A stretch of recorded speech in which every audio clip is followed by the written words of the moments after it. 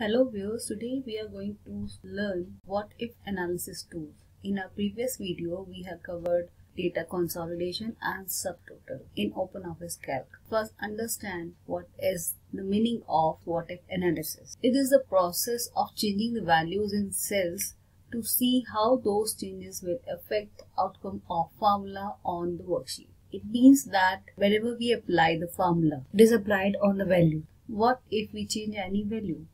How the values that we have changed is going to affect the formula and the result. In calc, we are going to learn about scenarios, goal seek and solver, which are what if analysis tools. Okay, so we will learn them one by one. First, we are going to start with scenarios. It's a tool which help you to build a model wherein changes made in values are reflected in the possible outcome. Now I will tell you this uh, with the example, what this definition means. For example, I have to calculate the rate simple interest when principal amount is 10,000, rate is 5% and time is 3 years. And I also have to calculate simple interest when my principal amount changes that is for 15,000 and 20,000. So I want to see if I give my 10,000 what is going to be the interest. If I give 15,000 to bank what is going to be the simple interest and similarly for 20,000. So I have different scenes, I have different scenarios. Alright, so I can create these scenarios and then I can compare it which is going to benefit me or which is the suitable one for me.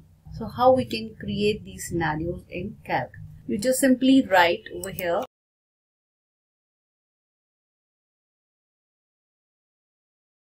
So I have got simple interest 15,000 for principal amount 10,000.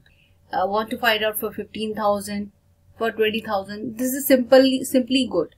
I can find it out. But when the calculation is complicated, when the data is large, then it is going to be difficult. I can simply write 15,000 and I can find out like uh, this 25,100. So it is very very simple when I, when the calculation is short and simple. But when it, the calculation is complex and data is large, it is going to be difficult. So there we can use these scenarios. How we can use them? Let's see that. First you have to select the whole range. Once you select this, you will go to tools. All the tools that we are going to use today, the goal seek, solver and scenario, they all are what if tools and that's why they are found in the tools menu. First is scenario. Click on scenarios. This create scenarios dialog box will appear it will give a name automatically to your scenario. So you can change that and here if you want to write any comment you can write that. Otherwise it will uh, write the comment created by whom and on which date and what time. Then we have display border.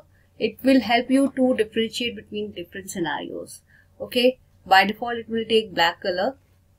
I'll show you over here. I have created three scenarios here. You can see 10,000 15 and K uh, 20 so if I click on this it will show me that my principal uh, amount is 10,000 and my interest is 1500. Let's change it to when my principal amount is 15. So when my principal amount is 15,000, my simple interest is 2250. Similarly for 20,000 this is 6,000. So this is these are different scenarios that I have created and you can see that the color has been changed every time when I click on each scenario. So this is what I was telling you that we can have the borders to differentiate between the different scenarios. Alright, so again go to tools and uh, go to scenarios. Give it the name P equals to 10K. I want to display the border. Copy back option. I am disabling it right now and I'll tell you the what is the use of it. Then select the color. Now I want to create the scenario for 15,000. So change the value over here. So when you enter the value, you can see the simple interest is, is calculated. So let's create the scenario again, select the range. This time I am checking the option copy back. So let's see, uh, let's take this one and if I change the value over here, let's say 20,000 it is showing me the simple address is 3000 but let's get back to this one again and again if I click on 10,000 you can see that the value that I have entered 20,000 is not here because the copy back option was unchecked. Let's do it with 15k where the copy back option was checked. Now if I changed the value to 20,000 it will update this value and this value will be finalized for 15k. Let's see that. You can see it was 15,000 and I have changed it to 20,000 and accordingly it is showing me the change. So if you want to avoid it, you should always uncheck that copy back option because for 15k it is showing me the amount 20,000. I hope this option is clear to you. So what is the advantage of scenario is different scenarios can be saved with different names and can be compared for decision making and we can easily switch between the saved scenarios, right? Just look over here. For 10k it is, the interest is this for 15k and for 20k. Similarly, you can create number of scenarios. After this, we are having another what if tool which is Goal Seek. Goal Seek is also known as back solving. And why it is called back solving? Because here we do not want the output we already know the output but we do not know what is to be given as input like I want 70% uh, in my annual exams so I know that I want 70% but I do not know what marks are to be achieved in each subject for that. Let's understand with the help of an example. Now over here we have to calculate the simple interest again where the principal amount is 10,000, rate is 5% and the time is 3 years. But now I have to calculate the principal amount. This when my simple interest is 3000 okay? So I know my simple interest is 3000 I want to earn 3000 as simple interest but I do not know what is the principal amount that has to be deposited. So this is what you can solve with the help of goal seek tool. Similarly I have applied the same formula for finding out the simple interest. You can see the formula here and I want to find out what should be my principal amount if my simple interest is 3000. Click on the cell which is having the formula then go to tools and goal seek. It will automatically collect the address. In case it is not there, you just click on this particular text box and click on the cell which is having the formula. Then the target value is 3000. Okay, so enter the value here.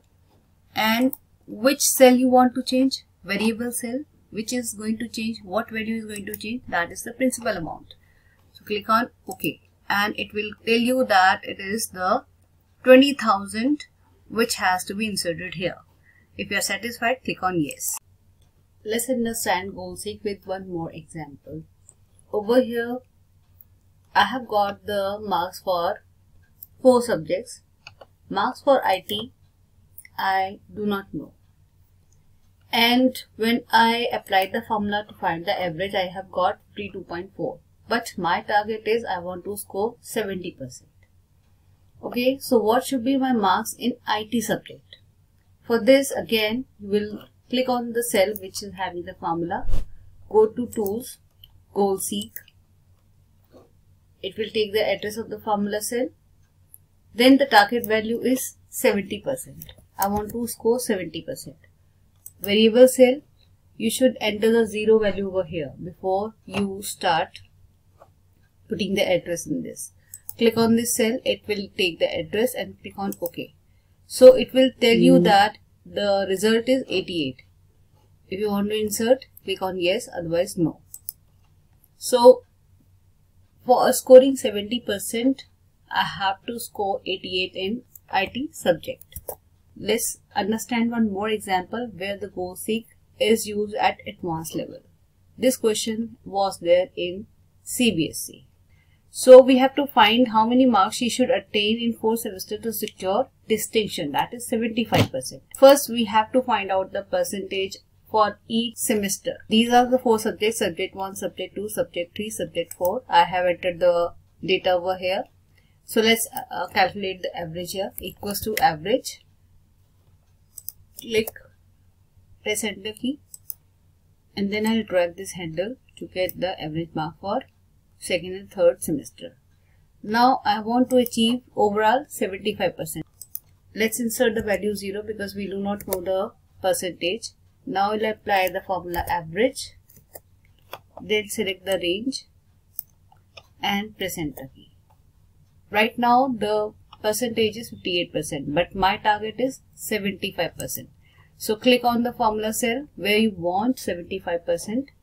Go to tools, goal seek target value is 75 and which variable cell you want to change? This one. Okay? Click on ok and it is telling you that in semester 4 the student has to achieve at least 67 percent. So how to find out like what you have to achieve in each subject? Again put the value 0 in each of the cell and we can find the value for each subject with the help of goal seek again. How? Again let's find out the average. Equals to average. And then I'll select the range. Okay. I'll drag this formula so that I can find the average for each of the subject. Again you will select the cell which is which is having the formula. Go to tools. Goal seek. The target value is 75% so I'll enter 75 and the variable cell is this click on OK and this is how it will get 41. The same we are going to apply to each and every cell and subject to find out the marks.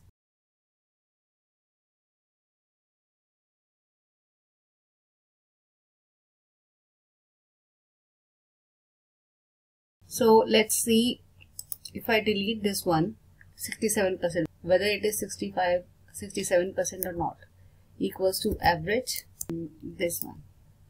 So when I press enter key, it is showing me it is 67% only. So you, you can use goal seek to find out the marks for each subject and aggregate percentage as well. Next is solver. Solver is more powerful and elaborated form of goal seek. Over here in goal seek, we are changing only one cell, right? As we have seen, we were having only one cell.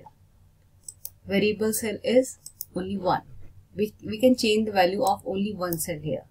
But with solver, we can have multiple cells. The value of maybe two variables we do not know. The two values we do not know. Over here, uh, my percentage is 42.8 and my target is I want to achieve 70%. But I do not know the marks of these two subjects. So here I can use solver. While GoalSeek deals with single input variable to reach a specific output, the solver deals with equations with multiple unknown variables. So there I have two subjects, multiple variables. Okay, so let's understand practically. As I have entered the marks, I do not know the marks of two subjects and my target is 70%. So what I'll do, I'll click on this cell, then I'll go to tools, see all the option goal, seek, solver, scenario, they all are in tools menu. Go to solver. The solver dialog box will appear. Target cell is the one which is having the formula. Now I want 70%. So I'll click on the value and I'll enter the value 70% here. Now by changing cell, you want to find out the values for these two subjects. So se select these cell, it will automatically take up the address. Now this one, limiting condition, you can put the condition that in uh, like IT I want to score more than 80% and in social science it should be at least 79 so you can put the values over here. We have different operators which can help you there. Click on solve and it will tell you that it has solved it successfully and it has shown you the value that in social science it could be less than or equal to 79 okay? And uh, in IT it should be around 80 so accordingly for your target it has find out the value. And if you are satisfied click on keep result or click on restore previous. So it will give you the previous result like 0 0 so I'll click on keep result. So I hope this is clear to you. And in case you have any doubt you can write in the comment section and tune in for more videos. Press the bell icon to get the latest video update. Thank you so much